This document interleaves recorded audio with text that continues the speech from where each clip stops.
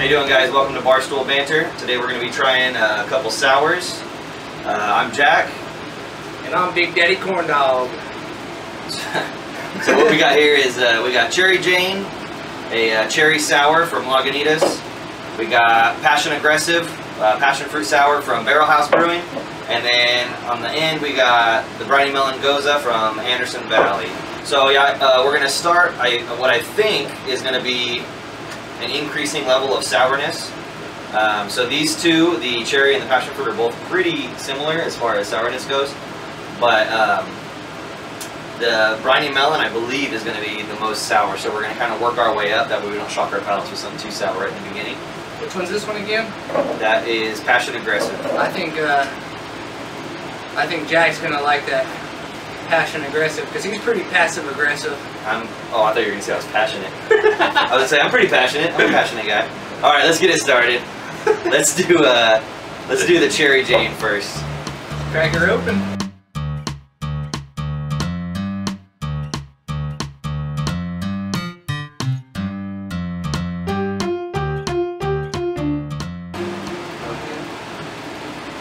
So Mm.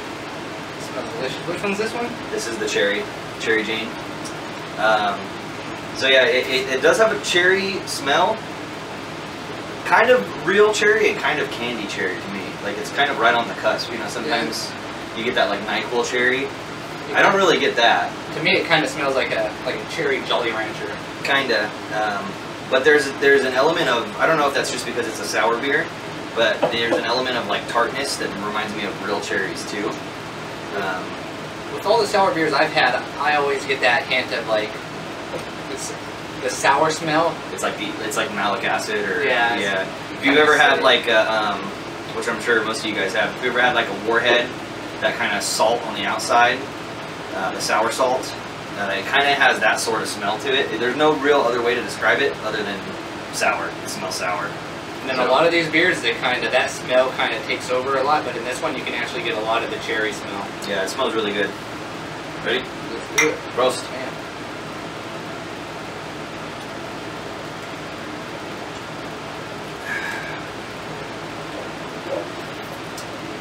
So I really like that beer. It's really good. It's really good.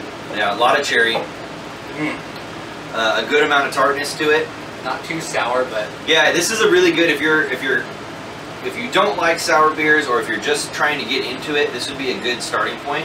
You don't want to go to something too crazy um, that just overwhelms your taste buds because it's just so sour. Like sometimes you get those sours, you take a drink and it feels like someone just punched you right in the face. I like Uh, those ones. yeah, I was gonna say- like where it makes my fucking jaw tickle. Yeah, I kind of like those too. but uh, some people, like especially if you're new to sours, that's a little off-putting. So this is a good place to start. Um, but I get lots of cherry. Uh, I would say it's actually more tart than sour. Like maybe that's from yeah, I the, the guess cherryness. It would be more. It's like tart. a nice tart ale. Um, It didn't have a whole lot of carbonation. Um, kind of kind of medium, I guess. very drinkable. Yeah, really good, and it's almost got like a uh, like a syrupiness to it. I think you know maybe that's from again the cherry, just making it make, Yeah. you know, making me think it's syrupy. But overall, really good, uh, really good beer. Um, it's from Lagunitas, so they're uh, they're pretty big. I'm sure everybody knows Lagunitas, so I mean can't go wrong with a brewery that's doing as well as they are. Yeah, that's for So, all right, let's uh, try the next one. Your favorite?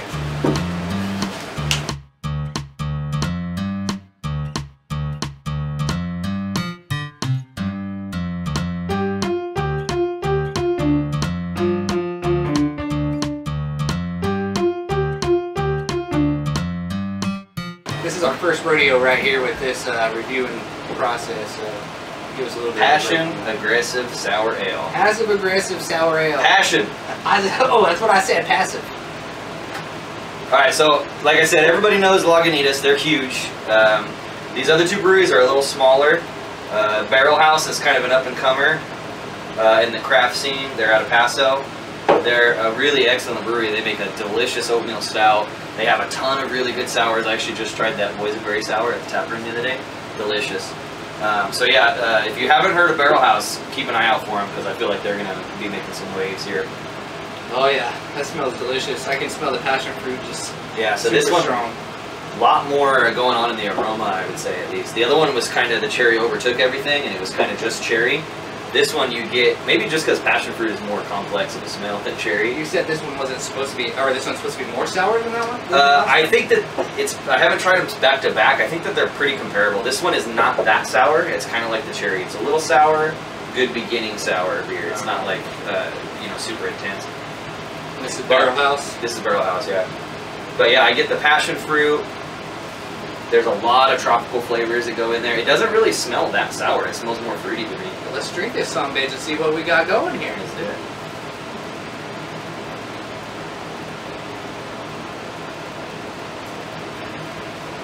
Mm. Yeah, delicious. Um, not as sour as I thought it was going to be. Um, but judging from the smell, after I smelled it, I didn't uh, think it was going to be that sour after all. Yeah, I would say those two on the sour scale are real comparable. If I had, if like I was forced to choose one, if somebody had a gun in my head or something, I might say this one's just a tad bit more sour than the Cherry Jane. What do you think? Well, actually, well, more sour, but I think the Cherry Jane's more tart. So Yeah. there's two different uh, Yeah, descriptions for I can it. see that. This one, th- this I, I love this beer, man. This is this is probably one of my favorite go-to sours, just for like we were talking about earlier. You get those sours that you take a sip and it punches you in the face, and they're really good. But after a glass or two, you're like, all right, I think I need to give my taste buds a rest or whatever. This is one if you want it, if you're in the mood for something sour, and you're like, I'm gonna crush a six pack. This guy right here, it's got tons of passion fruit. Uh, I get a little bit of guava, maybe some orange. There was a little bit of like orange rind or something in there. It's really good. Um, decent amount of carbonation, decent amount of sourness. Overall, it's just a really solid beer. I think it tastes a little bit, and for people that don't drink sours very often, if you're just starting out, I think this is a good one because you don't. It tastes a little bit more like beer to me than the last one. right. It has a more of like what, like a lager? Um, I guess it's kind of crisp like a lager. It's kind of hard to. I would say more like a wheat beer maybe. Yeah, Just because of the fruit, it kind of makes you think of a wheat beer, even though it's not really. Um, but yeah, it's a really solid beer. Um, overall it's really good. yeah, I think It is fan fucking tastic. Yeah, I like them both a lot, but but trying them side by side, I think I have to say that I like the passion better.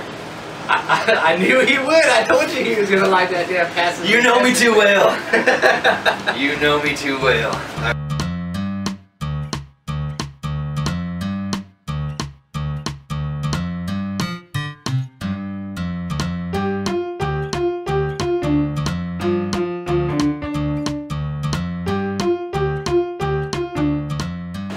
So now we've come to the final stretch. A beer and a brewer that is very near and dear to my heart, Anderson Valley. This is definitely like craft beer territory. Not a whole lot of people know about Anderson Valley. Um, I, I feel like they're getting their name out there a little bit more. There, I'm starting to see them in more like decent liquor stores. I mean, obviously you can get them at Bevmo or Total Wine or something like that. Um, but I'm starting to see them pop up more places, which is good. This is one of the, the brewers that actually started me on like my craft beer journey. I tried their oatmeal stout, probably one of the best oatmeal stouts I've had. yeah, probably close to I don't know what five years ago, six years ago, and then ever since then.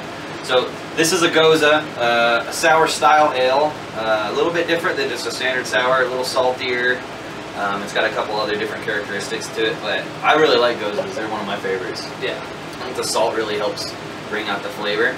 Uh, and so this one, without even having to taste it, I'm gonna tell you this is the most sour out of the three that we tried today, at least. Let's see. So yeah, you definitely get melon. It's kind of like melon rind, I'd say. Yeah, it's a little bit of honeydew maybe. hmm Yeah, like uh, to me, it always reminds me of. This might not sound that appealing, but when you're when you're like eating watermelon and you get down to the bottom and it's like the the rind part of the watermelon that's kind of firm and almost like vegetal smelling, I guess. It, it sounds gross, but it actually smells pretty good. He would pick the fucking nastiest part of the damn melon to You know that? Yeah, you know that trash part of the melon that nobody eats and you just throw away. That's right here. That's right. That's, That's my favorite. That's that. Usually, I just save those and then I take them to work and snack on them. well, hopefully it doesn't taste like that. No. But I do get that smell. Yeah, uh, it's melony, like you said, a little honeydew. Uh, I definitely get the salt, even in the smell. You can tell that it's got a little bit of salt in it. Well, the anticipation's fucking killing me. Let's drink this bad boy. Without further ado,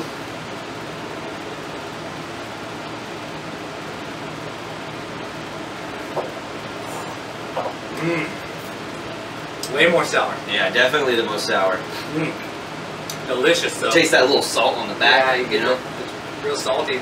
Jac likes this, the salt flavor on the back of his throat, just so you guys know. Hey, what I do on my Friday nights is nobody's business.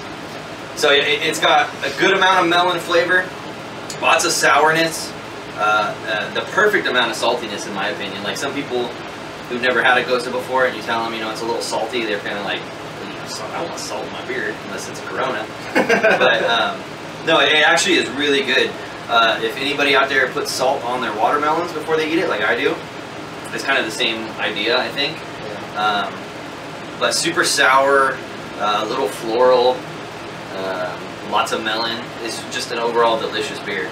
You know, and uh, the sourness is really there. So if you don't like sour or the sour flavor, this beer's probably not for you. Yeah. But if you do like a good sour beer, this is one of the one of my favorites. Yeah, it's definitely not the most sour beer on the market. Like there are some that I've had that are just like balls to the wall sour. Um, I would say this one is pretty decently high on the sour scale. There's there's ones out there that are more sour if you're like a sour head and you're searching for the most sour beer. Um, but this, to me, as someone who loves sour beers, is kind of uh, kind of right where you want it on the cusp. It's not as easy drinking as something like the Cherry Jane or the Passion, uh, but a little more sour than that. But you can still down these. Like I could I could drink a six pack of these. I like sour beers, but I like to have flavor in my beer too. So, and I still want it to taste like a beer. I don't want no just like a fruity drink. You know, I want to.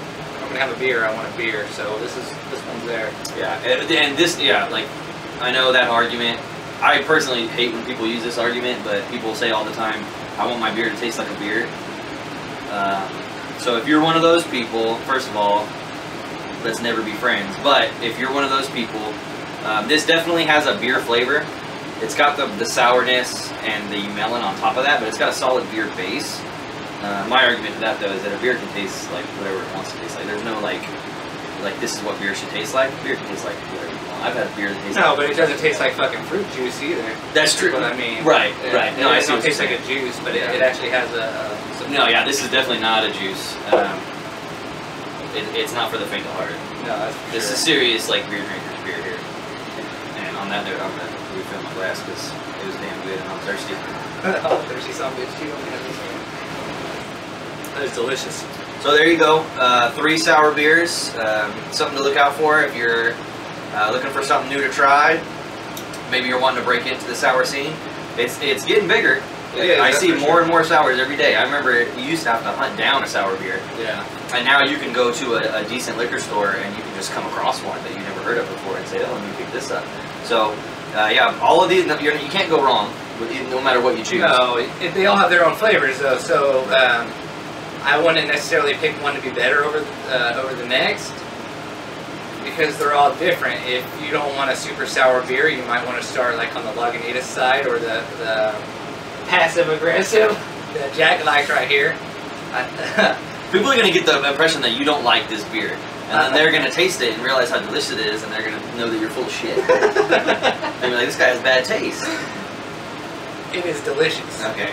But If that you- does not change the fact that I knew he would like it because he is a little timid sometimes. We all have our sensitive sides. So that being said, I know that you just said that you can't really pick one over the other. That's exactly what we're gonna do. If you had to choose one as your favorite, You son of a bitch, Jac. You son of a bitch. which which one would you go for if, if you had to name a grand champion? Right, actually, let's say let's do um, three, two, one. From from worst to best, what would you rank them? If you had to. Hold on, let me try this. Um, I'm just looking for an excuse to try this beer one more time. I know I'm pouring it in with the the Gose, but get over it.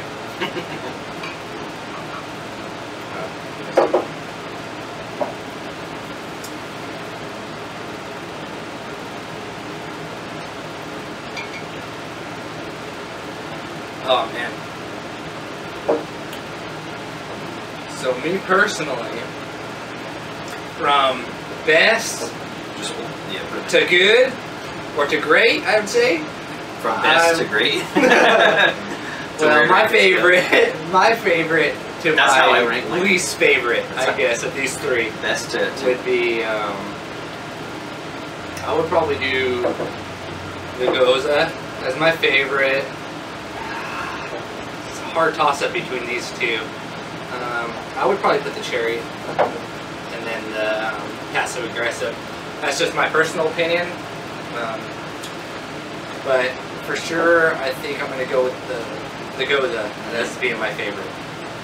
Um, yeah, like I said, they're all really good. So uh, it's a tough decision, but Don't you copy me now. You better pick your own. I would do exactly this right here and then call it good. you son of a bitch. No, if, if I had to pick, I would probably go. Uh, I think the Cherry Jane is my least favorite, even though I still really, really like it.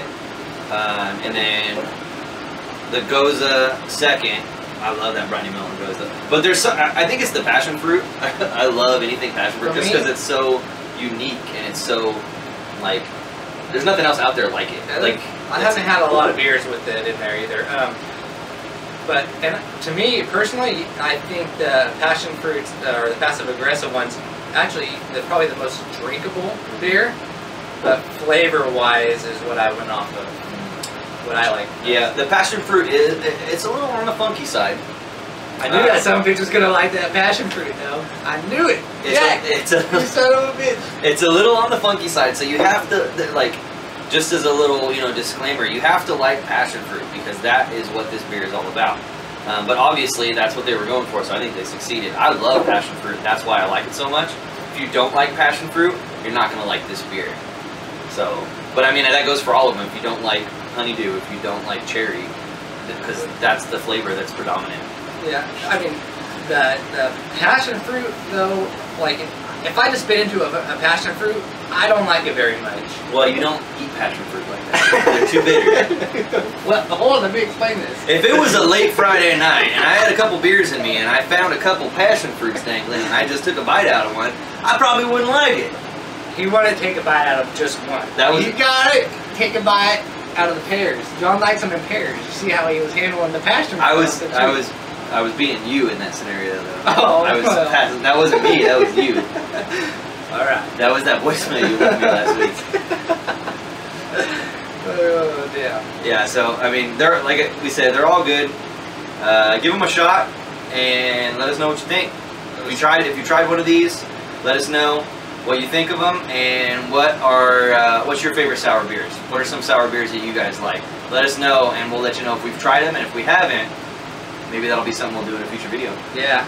If you guys put them um, any beers you want us to taste in the comments, uh, there's not many beers I'll turn down. So um, just let us know and we'll we'll try to get to them. Yeah. All right, guys.